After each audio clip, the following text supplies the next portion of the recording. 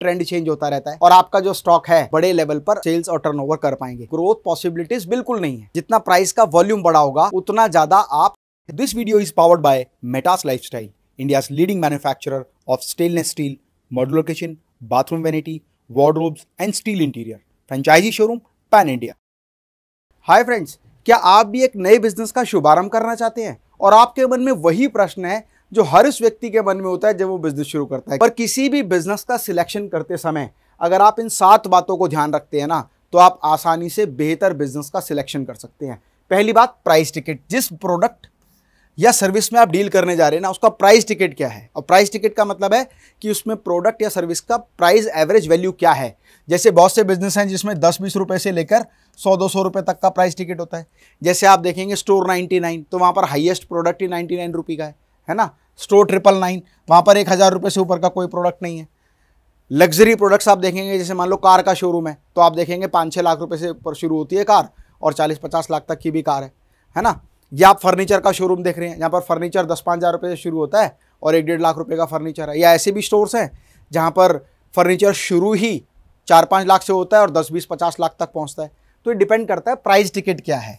आपका प्रोडक्ट किस वैल्यू का है? तो प्राइस टिकट जितना बड़ा होगा, जितना प्राइस का वॉल्यूम बड़ा होगा, उतना ज़्यादा आप बड़े लेवल पर सेल्स और टर्नओवर कर पाएँगे। ये बात तो छोटे प्राइस टिकट के प्रोडक्ट में भी होती है, पर वहाँ सेल्स का वॉल्यूम बड़ा चाहिए होता है।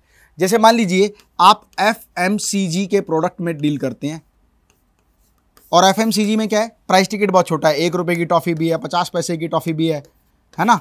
दो रुपये का बिस्किट का पैकेट भी है, पाँच रुपये का भी है, दस रुपये का भी है, पचास रुपये का भी कोई प्रोडक्ट है। तो यहाँ पर प्राइस टिकट बहुत छोटा है। तो ज़्यादा वॉल्यूम करके आपको प्रॉफिट होने वाला है है ना? नेक्स्ट प्रॉफिट मार्जिन आपके प्रोडक्ट में प्रॉफिट मार्जिन कितना है? बहुत सारे बिजनेसेस ऐसे हैं जहाँ प्रॉफिट मार्जिन बहुत छोटा है, लेकिन वहाँ पर जो गेम है वो वॉल्यूम की है। बहुत सारे बिज़नेस ऐसे हैं जहाँ प्राइस टिकट भी बढ़ा है और प्रॉफिट वॉल्यूम भी बढ़ा है। कई बिजनेसेस में जर्नली दस परसेंट से बीस परसेंट तक का मार्जिन होता है, तीस से पचास परसेंट का मार्जिन होता है। ऐसे बिज़नेस भी हैं जहाँ पर चालीस से पचास से सत्तर परसेंट का मार्जिन भी होता है। बहुत सारे बिज़नेस हैं, वो आपको देखना है कि किस तरह का बिज़नेस आप सिलेक्ट करते हैं। किसी भी बिज़नेस को सिलेक्ट करते समय ये बातें ज़रूर ध्यान देनी चाहिए। इन्वेस्टमेंट कितना लग रहा है? ये भी एक इनिशियल बहुत इंपॉर्टेंट पॉइंट है। आपको ये देखना है कि आपका बजट कितना, आप कितना पैसा बिज़नेस में इन्वेस्ट कर सकते हैं। तो लेवल ऑफ़ इन्वेस्टमेंट जैसे दो चार लाख से लेके पाँच सात लाख रुपए तक वो बिज़नेस शुरू हो रहा है, या दस लाख से लेके तीस लाख तक का बिज़नेस है, या तीस लाख से पचास लाख का बिज़नेस है, या पचास लाख से करोड़ों तक का बिज़नेस आपको लेवल ऑफ़ इन्वेस्टमेंट देखना होगा।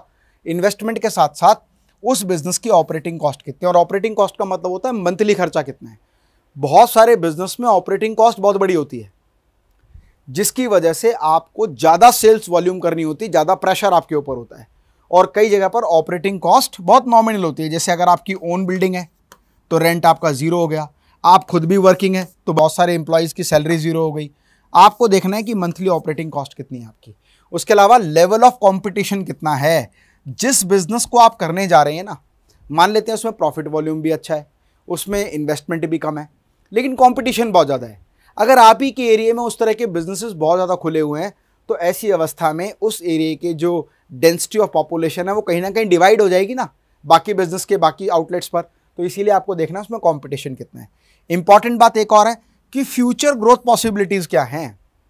बहुत सारे बिजनेसेस में फ्यूचर ग्रोथ पॉसिबिलिटीज़ बिल्कुल नहीं है।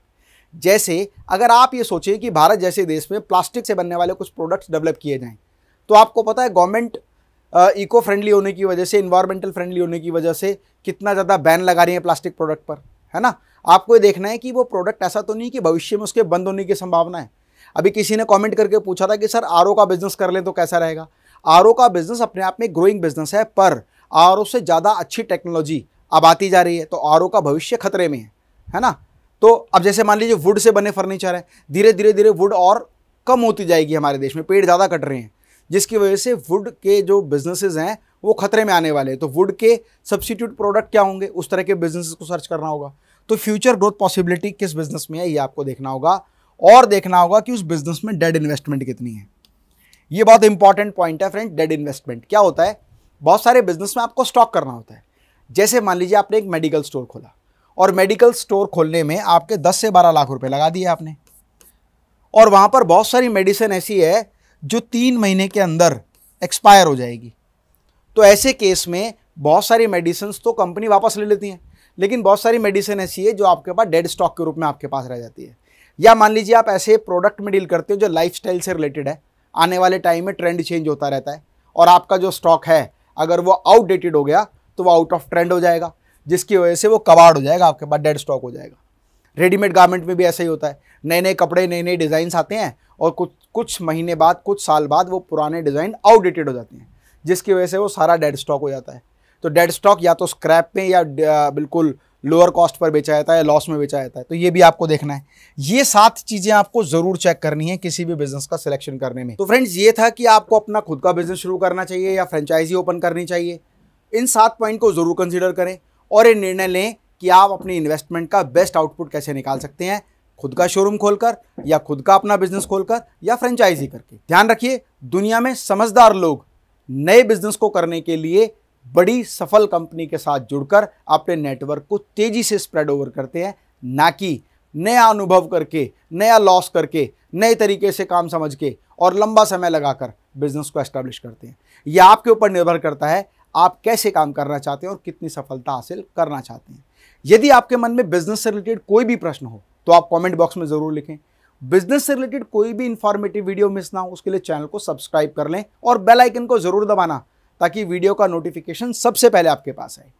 स्वस्थ रहें, मस्त रहें। मैं डॉक्टर अमित माहेश्वरी, आपके सुंदर भविष्य की कामना करता हूँ। जय हिंद, जय भारत।